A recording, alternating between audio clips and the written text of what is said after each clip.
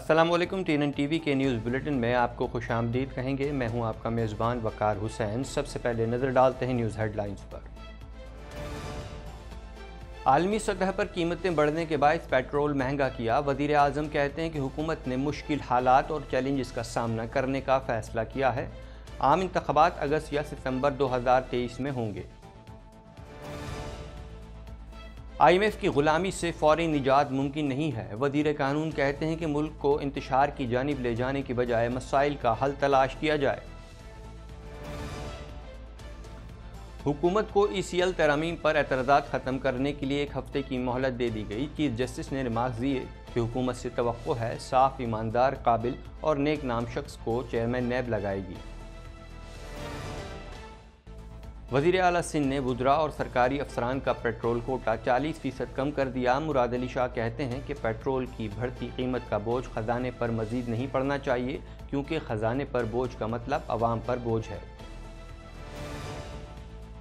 इमरान खान ने महँगाई के खिलाफ एहतजाज की कॉल दे दी। चेयरमैन पी टी आई कहते हैं कि इम्पोर्टेड हुकूमत ने पेट्रोलियम मसनूआत की कीमतों में साठ रुपये चालीस फ़ीसद फ़ी लीटर इजाफा कर दिया। बाप का हकीकी बाप भी सोच रहा होगा कि ये क्या हो गया शेख रशीद कहते हैं कि पहले मीशत और फिर मुल्क डिफ़ॉल्ट होता है मुल्क माशी बहरान की तरफ़ बढ़ रहा है और सियासतदान टीवी टीवी खेल रहे हैं Laundry is no longer a hassle. Just toss an EcoFresh detergent strip into the washer for a convenient, eco-friendly yet powerful wash. Hypoallergenic, safe for sensitive skin. Say no to bulky plastic jugs and bottles no more measuring and spilling. Just one strip for a load. Simple and squeaky clean. Plastic free, biodegradable packaging. Organic, paraben, phosphate, dioxane, and cruelty free.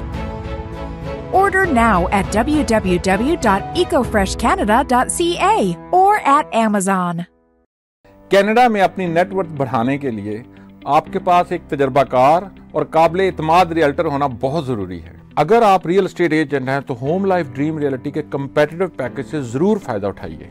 और president and broker of record Shakeel Alam को four one six seven two seven one six two four पर ज़रूर रबता कीजिए।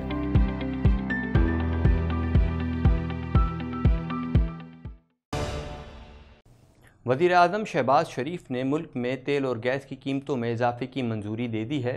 उन्होंने कहा है कि आलमी तौर पर महँगाई बढ़ी है। इस हवाले से मजीद जानते हैं। तुर्क टीवी चैनल को इंटरव्यू में वज़ीर अजम शहबाज शरीफ ने कहा कि मुल्क में तेल और गैस की कीमत में इजाफा इसलिए किया गया क्योंकि आलमी सतह पर महँगाई बढ़ गई है। हम गुर्बत की लकीर से नीचे आबादी को सब्सिडी दे रहे हैं। वज़ीर अजम का मजीद कहना था कि आम इंतबात अपने वक्त पर, यानी पंद्रह माह बाद ही होंगे। मुल्क में आईनी और कानूनी तरीके से हुकूमत तब्दील हुई है। आम इंतबात अगस्त या सितंबर 2023 में होंगे। उन्होंने कहा कि हुकूमत ने मुश्किल हालात और चैलेंजेस का सामना करने का फैसला किया है। मसाइल के हल के लिए वसाइल पैदा किए जाएँगे और इसके लिए दोस्त ममालिक से मदद ली जाएगी। गुर्बत में कमी लाने के लिए मुल्क में तामीर नौ की जाएगी। वज़ीर आज़म का कहना था कि हम मकासद के हसूल के लिए कलील मुद्दती इकदाम करेंगे।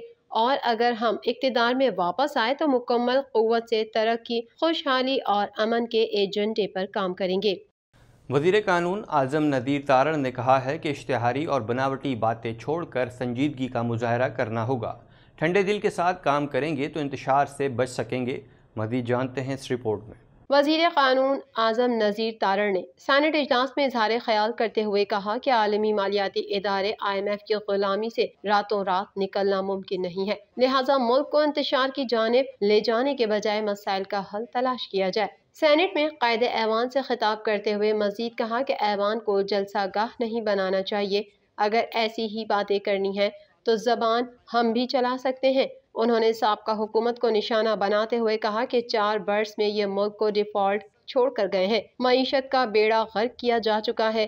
दामन आग का भी साफ़ नहीं है। हुकूमत जाने का ये मतलब तो नहीं कि जान चली गई। उन्होंने कहा कि आईएमएफ की जंजीरें उन्होंने ही हम पर डाली हैं। ये भगौड़े हैं और झूठ पर झूठ बोले जा रहे हैं। आज़म नजीर तारण ने कहा कि इश्तेहारी और बनावटी बातें छोड़कर संजीदगी का मुजाहरा करना होगा। ठंडे दिल के साथ काम करेंगे तो इंतज़ार से बच सकेंगे। सैनेट में इजलास से खिताब करते हुए वज़ीर कानून का कहना था कि आईएमएफ की गुलामी से फौरी निजात मुमकिन नहीं, लेकिन हम सबको मिलकर पाकिस्तान को बेहतर बनाना है। सबको पता है कि सब्सिडी वापस लेने की वजूहत क्या है। आवाम को सब्सिडी देने के मामला वज़ीर आज़म की मेज़ पर है। सुप्रीम कोर्ट ने हुकूमत को ई सी एल तरामीम पर उठने वाले एतराज़ा को ख़त्म करने और तरामीम को कानूनी दायरे में लाने के लिए एक हफ़्ते की मोहलत दे दी है इस हवाले से मजीद जानते हैं।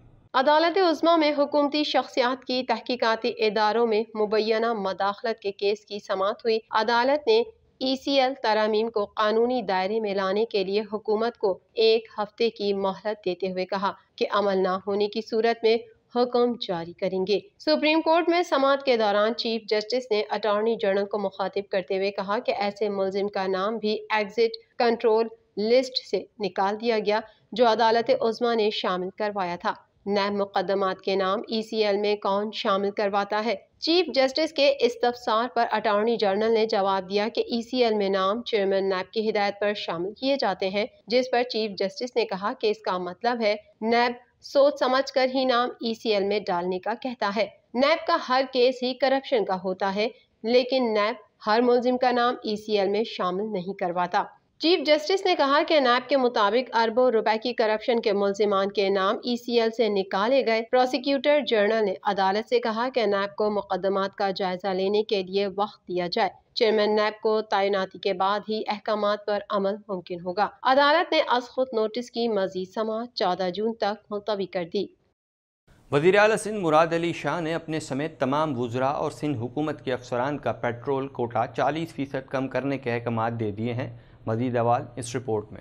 वज़ीर अला सिंध मुराद अली शाह ने वज्रा और सरकारी अफसरान का पेट्रोल कोटा चालीस फ़ीसद कम करने का हुक्म दे दिया। वज़ीर अला सिंध मुराद अली शाह ने अपने समेत तमाम वज्रा और सिंध हुकूमत के अफसरान का पेट्रोल कोटा चालीस फ़ीसद कम करने के अहकाम दे दिए। वज़ीर अला सिंध का कहना है कि पेट्रोलियम मसनूआत की कीमतों में इजाफा हुआ है। पेट्रोल की बढ़ती कीमत का बोझ खजाने पर मजीद नहीं पड़ना चाहिए, क्योंकि खजाने पर बोझ का मतलब आवाम पर बोझ है। उन्होंने कहा कि सरकारी अफसरान के पेट्रोल कोटे की 40 फ़ीसद कमी से खजाने पर बोझ में कमी आएगी। सबक वज़ीर अजम इमरान खान ने कहा है कि बिजली की कीमत में आठ रुपये का इजाफा पूरे मुल्क को झटका देगा और अफरात दर की शरह पचहत्तर सालों में सबसे ज़्यादा तीस फ़ीसद पहुँच सकती है, मजीद जानते हैं इस रिपोर्ट में।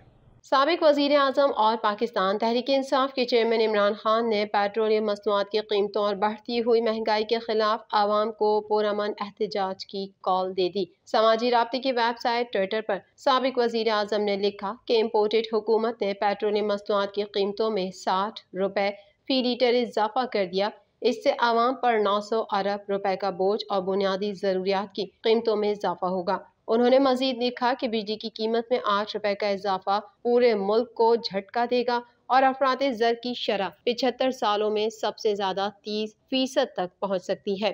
सबक वज़ीर अजम का कहना था कि इस मुल्क में उनके कोई मफाद नहीं, क्योंकि हुक्मरानों के तमाम असासे बैरून मुल्क हैं।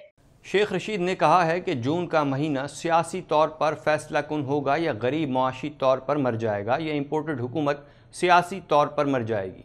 कौम खुद सड़कों पर आएगी और मौजूदा हुकूमत के खिलाफ मातम करेगी। मजीद अवाल इस रिपोर्ट में। वज़ीर दाखिला शेख रशीद अहमद ने कहा है कि एम क्यू एम को मुबारक हो, मेयर और गवर्नर। उनके लग गए और दफाते भी मिल गए। बाप भी अपना हकीकी सियासी बाप ढूंढ रही है। सबक वज़ीर दाखिला ने मजीद कहा कि एक हफ़्ते में पेट्रोल साठ रुपए फ़ी लीटर बढ़ गया और बिजली की कीमत आठ रुपए फ़ी यूनिट बढ़ा दी गई है। आलमी क्रेडिट रेटिंग एजेंसी मूडीज ने हमारी रेटिंग मनफी कर दी है। और ज़र मुबादला के ज़ख़ायर सिर्फ़ नौ अरब डॉलर रह गए हैं। पहले मीशत डिफ़ॉल्ट होती है, उसके बाद मुल्क डिफ़ॉल्ट होता है। मुल्क में 16 पावर प्लांट बंद और 16 घंटे की लोड शेडिंग है और लोग गर्मी से मर रहे हैं। अलावा अज़ीज़ इस्लामाबाद हाई कोर्ट में लॉन्ग मार्च के तनाजर में सबक वज़ीर दाखिला, शेख रशीद पर दर्ज मुकदमात के खिलाफ दरख्वास्त की समात हुई। हाई कोर्ट ने शेख रशीद को गिरफ़्तार करने से रोकते हुए सेक्रेटरी दाखिला से शेख रशीद पर दर्ज मुकदमात की तफसीत तलब कर ली। मजीद खबरें भी बुलेटिन का हिस्सा होंगी, मगर इस ब्रेक के बाद।